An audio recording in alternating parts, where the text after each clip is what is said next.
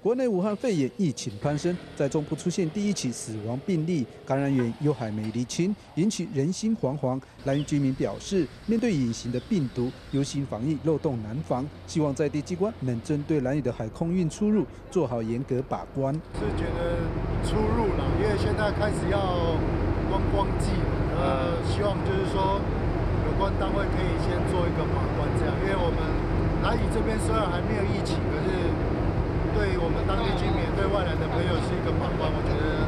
最好是要做一个检查，这样。族人说，游客出入境时，部分游客没有戴上口罩或量测体温等防疫工作，希望在地机关做好防疫把关工作。但相关单位仅表示，会以上级单位指示来做好防疫措施。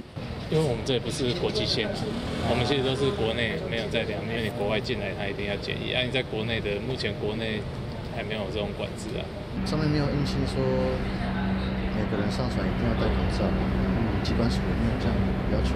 目前相关所的防疫措施哈是完全依照台东县政府的一个指挥调度哈，也将清洁队纳入这个防疫的编组。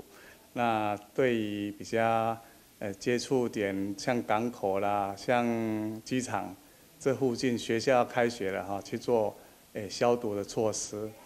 主任表示，武汉肺炎病毒难测，散播力又强，担心成为下一个病例。希望能以交通出入的防疫管制，应该视同作战心态来严防疫情进入，不仅保障南屿岛上五千多位的居民，也让前来观光的游客安心。